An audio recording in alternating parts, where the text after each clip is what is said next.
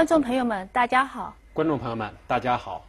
今天呢，我们向大家介绍的是2014 QQ 游戏天下棋艺全国象棋男子甲级联赛，嗯，张蓝天对柳大华的对局，由我和李鹏大师为大家进行现场讲解。嗯，好。那么这盘棋呢，张蓝天是我们的一个年轻的大师，而柳大华老师呢是全国著名的全国冠军特级大师。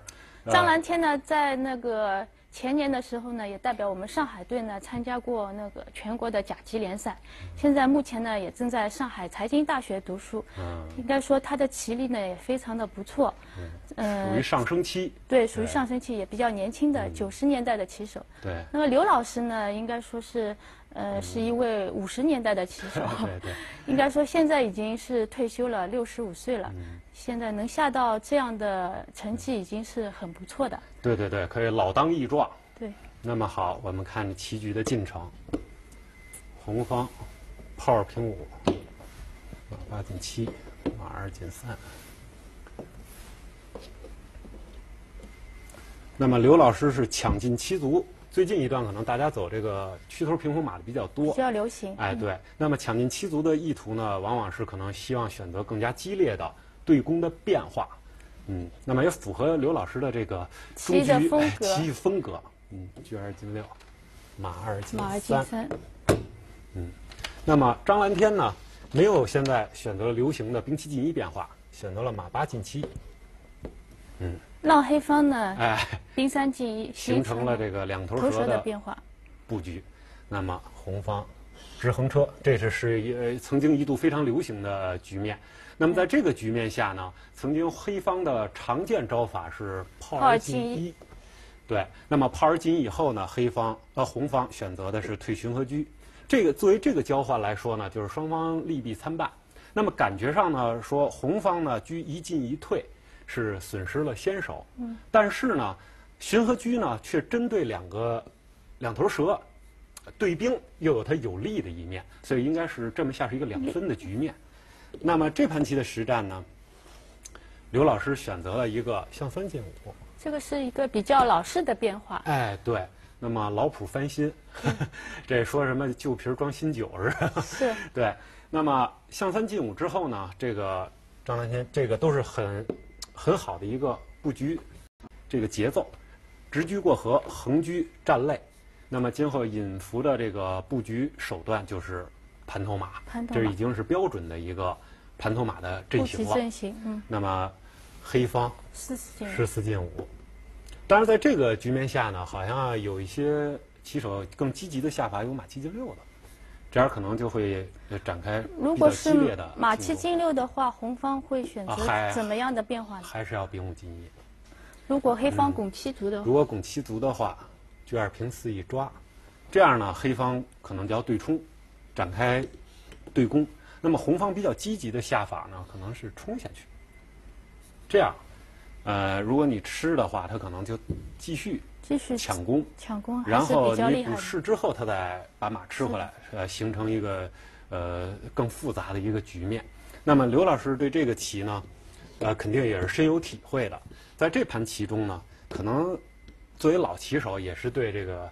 年轻大师的一个考验嘛，考试 说这种老变化你会不会？因为一般的年轻棋手对目前的流行的布局呢还是比较熟悉的。是是是。因为那个对局呢，现在对局库里面的对局也是比较多的，现在丰富的。所以呢，有些年轻棋手呢，对那些就是以前老式的开局啊，啊，反而呢是了解的比较少。对。所以呢，刘老师呢，我觉得这盘棋他也有赛前的作战的意意图比较强的。对。嗯，刘老师肯定是有他的一个对这盘棋的一个期待吧，啊，那么选择一个老式的变化，考验年轻棋手的应变能力，啊，那么这个局面呢，红方也是别无选择，兵五进一，这样呢，他现在红方感觉从步调来说还是非常满意的，为什么？过河车压住黑方的左翼，肋车控制这个黑方右车的呃左呃右车的出动，对然后呢配合盘头马向黑方发起进攻，子力就是比较集中，六个啊大子都处于比较好的位置。而且出子的这个步调呢，就是非常的节奏也非常的好像感觉很舒服，没有什么废棋，效率都很高。那么在这个局面下呢，黑方其实是对黑方是一个考验，因为如果你不做出一些反应的话，让红方这么步调非常好的推进的话，就比较呃，比比会很被动的。嗯对，那么这时候呢，是刘老师不是应该要对局？呃，他先走炮二进四，，因为这个棋呢，黑方认为呢，呃，红方这个盘头马还是有很强的这个威威力的。那么他先进炮有两个好处，一个呢是对你的这个盘头马的攻势有一个干扰，再有一个呢，通过这个打兵来掩护今后红方可能可能对黑方这边的车马炮的一些攻势，那么一招两用。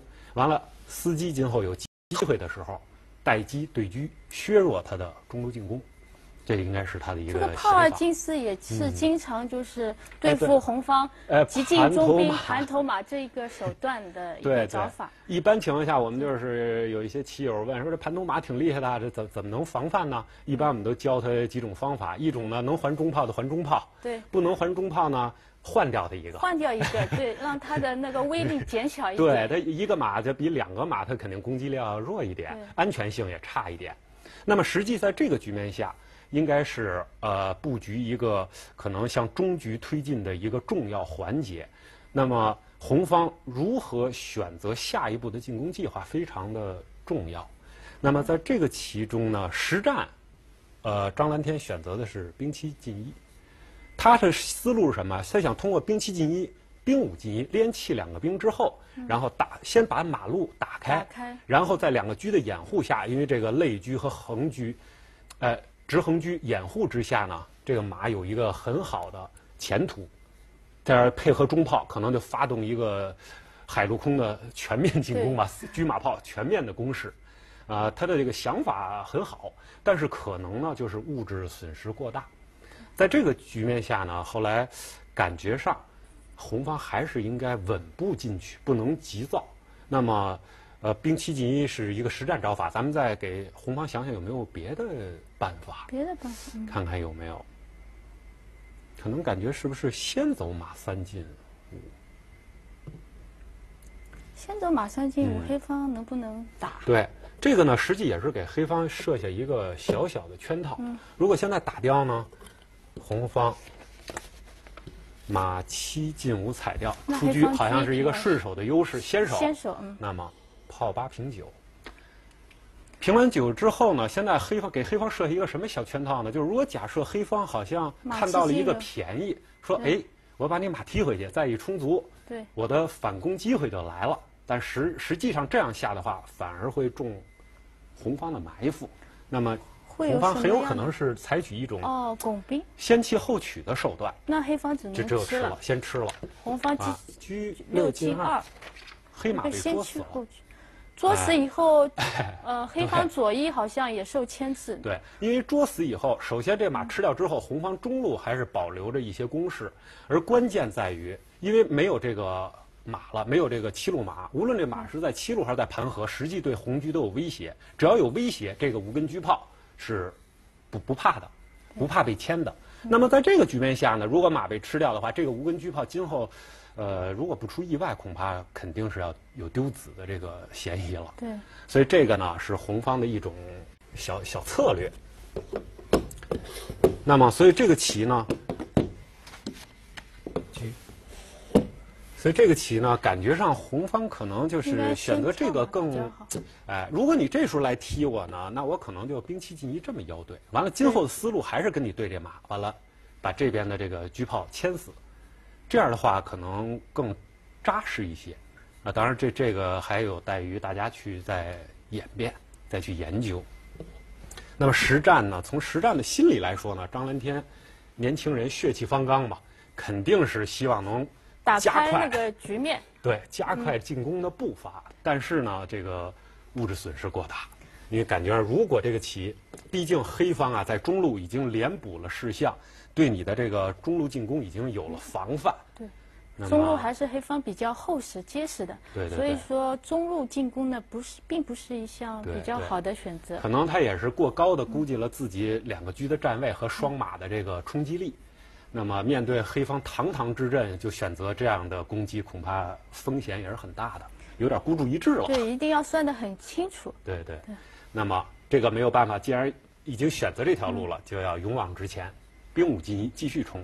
那么这个局面呢，呃，刘老师下的现在黑哎。方能够刘老师还是很机敏。这个棋不能说随手我就又吃一个，这个不行，那就真如红方所愿了。对，如果吃掉的话，那马这个上让红方马吃进五。这个马脚太宽阔了，这大蹬，卧槽，这个全是棋。而且你看，他这一冲开之后，这个车发挥更大的作用。本来他只是在这边压制着黑方，现在他甚至可上二路都哎打通了，影响黑方两翼的安全。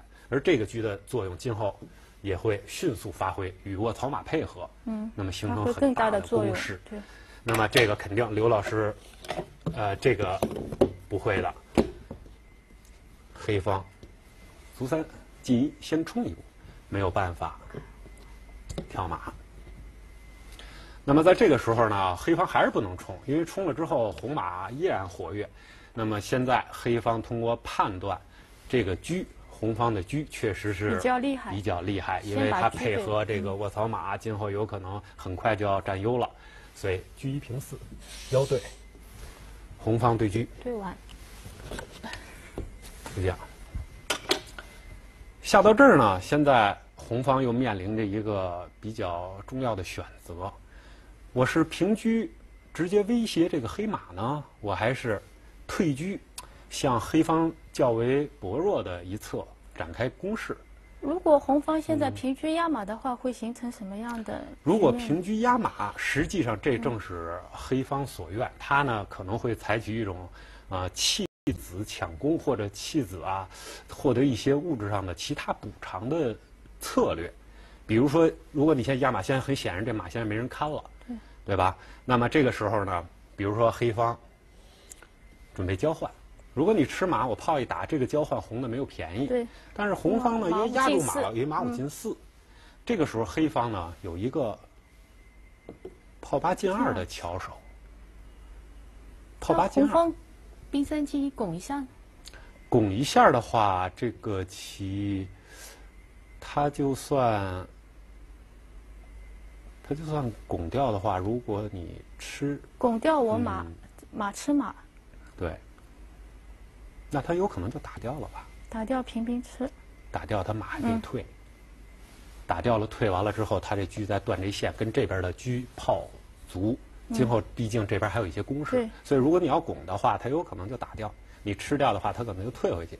你过兵，他就车八进车八进六，这样的话和这边，而且这边有马，有可能你要再吃这子，他可能就不要了。对。他这边就黑方就展开一些哎，嗯。足以抗衡了。那么如果这时候如你要是用马直接踩，说踩着车呢，那么黑方很有可能就炮先打兵一呃，将嘛，打将也行，现在打车也是一个比较好的一个一个策略。打一将他有可能哦，嗯平炮我要啊吃下来。嗯，啊，对对对，现在呢，这时候他打过来，你一踩的话，他打回去，这样形成一个红方可能多子，但是黑方多卒，位置好的局面，而且这个红红马也有可能今后被摁住，这样黑方呢可能是获得一个弃子占势的一个局面。那么好，这个棋是这样的。在这里，所以呢，红方在这个时候实战中，张蓝天是居二退二，选择了准备向黑方的侧翼，这个比较薄弱的一侧展开攻势。攻。嗯那么在这个局面下，那么柳大华老师会如何的应对呢？那么我们呃，大家先可以先看一看，啊呃，等一会儿再给大家继续的，呃，先休息片刻，然后给大家继续的推进下边的对局进展嗯进程。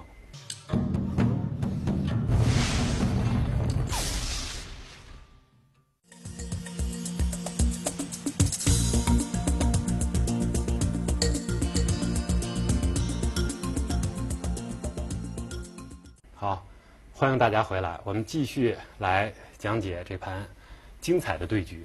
那么现在这个局面呢，红黑方方好像确实也不怎么好处理。对，因为但是这个棋啊，呃，黑方毕竟拥有这个比较强的雄厚的物质基础，所以这个时候呢，刘老师实战是选择了一个炮八平九的对子的战术。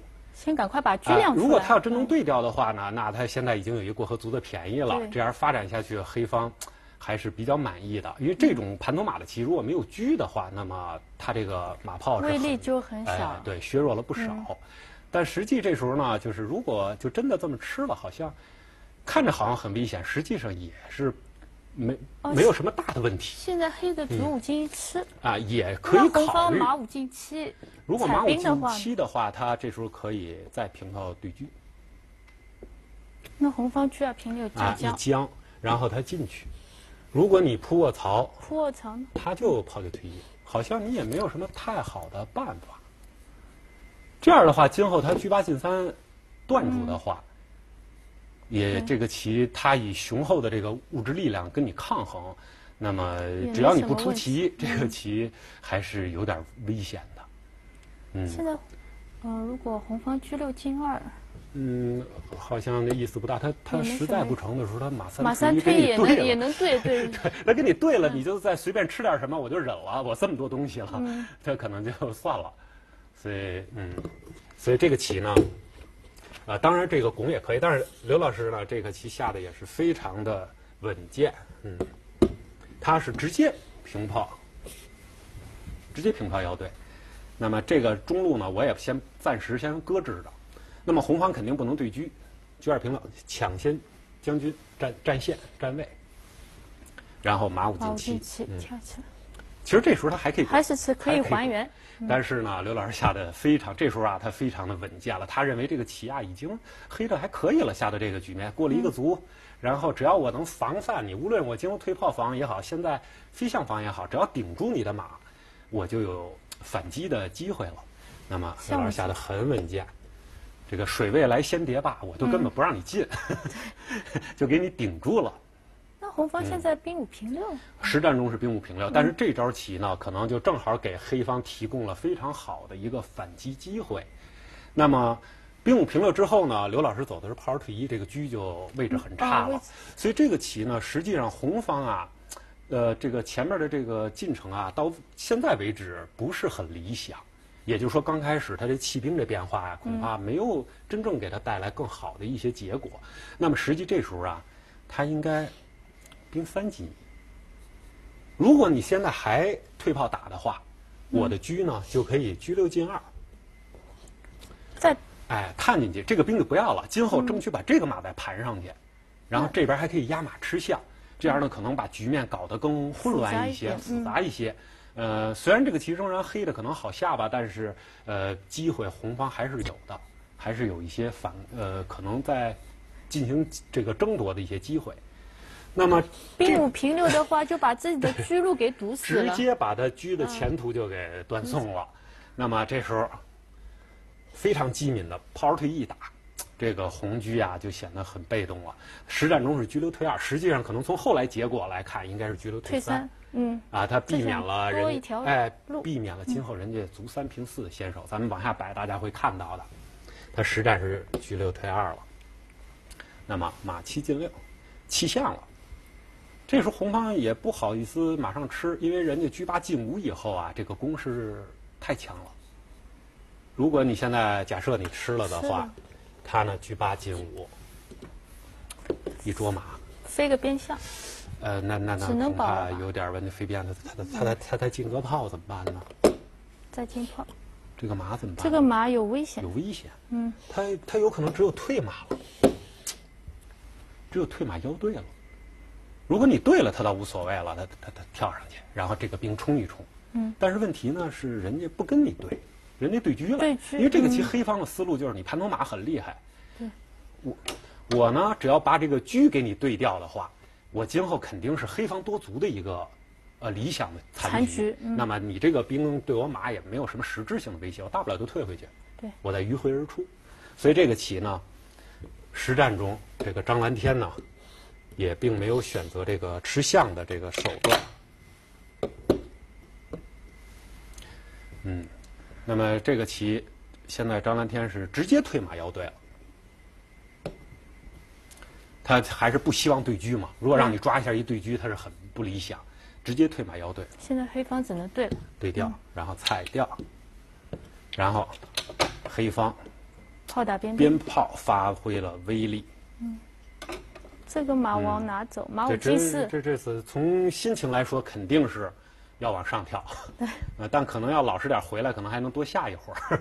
但是 红方的马既然出去了，就不肯退回来。，从那个棋手的一种惯性思维来说，肯定是要往前的，勇往直前嘛。那么这个时候，黑方是平炮将军，啊不，先拱，卒三平四。大家看到了，如果刚才车在这儿的话，黑方就少了这哎，样一个先手，他就可以嗯多多出腾挪一步棋走别的去，那可能结果会好一点。嗯，当然，你要是退三，可能黑的也不这么下了，黑的会有别的一些选择。那么这个时候，红方只好让炮二平五将军，不是不是，刘老师这会儿发力了，直接沉炮，那边就不要了，都给你了。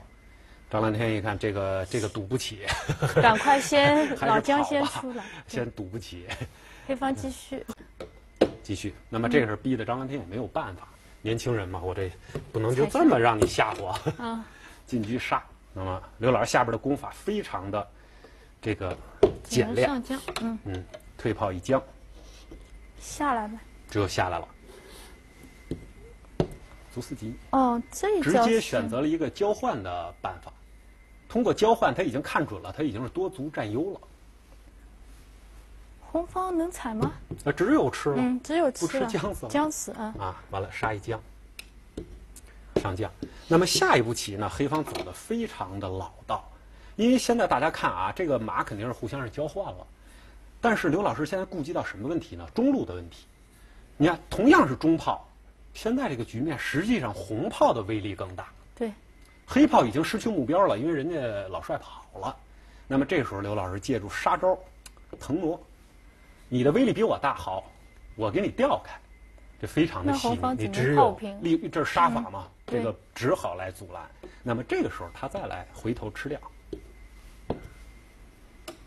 那么只有交换。黑方再消灭一兵，下到这儿呢，黑方已经确立了胜势多应该是卒的优势。对，那么红方将军，黑方点车先看准了，你对吧？对完了，我多多这么多兵，我就赢了。啊，刘老师下的挺稳健的，很很稳健如果我的话，我就弱势，弱势的话也感觉呃那个。毕竟这边炮吊着，你有嗯有有一些心里不不快。那么这时候退，那么下一招呢？实际上黑方现在已经是胜势了。那么刘老师下的很稳健，实际这时候你就就走这个就可以了。他担心他走什呃，么呢？他也没什么担心，实际他走这个，可能你你躲开车，我再一平，你不是可能退一吧，我一平卒，这肯定是黑的好。嗯但是刘老师呢，可能想转而中路进攻，退炮了，也是一个比较稳健的选择。像这样的棋选择的余地就比较多一点。只要不有没有大的疏漏，应该是黑方赢的机会已经来了。对，那么吃掉，杀，嗯，车四平三，暗保。那么红方炮八平平七，挡住，嗯，黑方这个炮应该躲开了。对，呃，现在是躲开，躲了一步，躲了一步之后呢，红方这个棋也没有什么好下的，先把象吃了，先把象吃了，黑方车是不是应该上？呃，长起来了，嗯，长起来。红方退车吃兵，黑方进卒。红方这时候好像是车三平一，杀掉，车三平一。黑方继续嗯，黑方继续。那么红方是捉了一下吧？车一平五，嗯，车一平五一捉，卒五平六，卒五平六让开，红方帅六平五。帅六平五。嗯，现在这个局面就是成呃双炮对双炮牵制的但是这样一这个卒太厉害了，这个卒太厉害了，嗯，进卒。那么红方是不是在这儿晃了一下？对，好像是晃了一下。晃了一下，他是抢点时间，对，然后是然后居五平九，车五平九，赶紧吃卒，想这个叫杀。叫杀，嗯，黑方将军，车三平五嗯叫将，红方。炮二平五，炮二平五继续叫杀，黑方出将，红红方方车九平将军，平炮，平炮挡住，嗯，车六平四，车六平，要不然是冲下来了，嗯。车六平四，卒六平七，在这里好像又来回捉了几下，但是这捉了几下长捉是不行的，嗯，要啊犯规的，那么嗯，这个红方是要变招，嗯。嗯，红方是退帅，退帅。退帅，红方的想法是，嗯，他是准备退士，然后再嗯平炮将平炮将军嗯了。黑方嗯。炮八平一，黑方平炮的目的呢，不让他落就是首先士你落不了势，你一落士，一将军中炮没了。嗯，然后。红方帅五平四，帅五平四，黑方方继续。卒七进一，卒七进一，四六退五，四六退五，他还是想那嗯。个在这个位置做点文章，那么来不及了，叫将，叫将。因为黑方那个卒太快了，离已经 帅的太逼近，完了，还逼着红方离得更近点儿。他只有上将，炮四进六，炮四进六一将，四五进六五，进六，退炮假将退炮一将，下去退，啊嗯车五车平平九，又是叫杀，又是叫杀。这个棋红方真是挺难办的了。怎么办炮五退二守一下唯一的一招。那么会不么会，车点下来？嗯，不用，他现在炮四进进一，继续叫将，将军炮五进四，炮五进四。这个棋应该是一将上来一上，嗯，一退。退，实际上这个时候实战中呢，这个刘老师把象吃了，嗯，呃也赢了。但是这时候呢，实际黑方有更快的下法，可能当时比赛棋手还是有求稳的心理吧。嗯，其实这时候有更快的下法是什么呢？就是我退将将，他继续下来。下来，完了再进一将，飞象，嗯，好，再一将，退炮，那一充足就赢了。哦，这样是马上入局了，对嗯，如果你要落象了，说我不让你充足，那人把炮白吃了，对这个 就多子了。嗯你电炮呢，我这马上就一冲，对，绝杀了，你你要你要再进，我就再平兵，嗯再平兵，这个就很简明的就就入局了。嗯当然了，这个棋已经是盛世了，呃，估计刘老师当时也是呃稳健吧，求稳为主，稳稳妥是第一的，安全第一，先吃象。当然，这个棋红方也是没有什么办法四平七，保住，嗯，黑方平局，一平，完了，炮五平九对炮，一对炮，对炮以后呢，那么黑方退五退二，车，捉士方。退。将四退一，嗯，将四退一，然后他就打掉了。打打掉，他就挑稳的比对较，对对对，就就稳着下了，反正我就确保胜势，，对我确保胜势就可以了。嗯，那么这个棋呢，黑方方车五平是吃车士，五平四一吃士。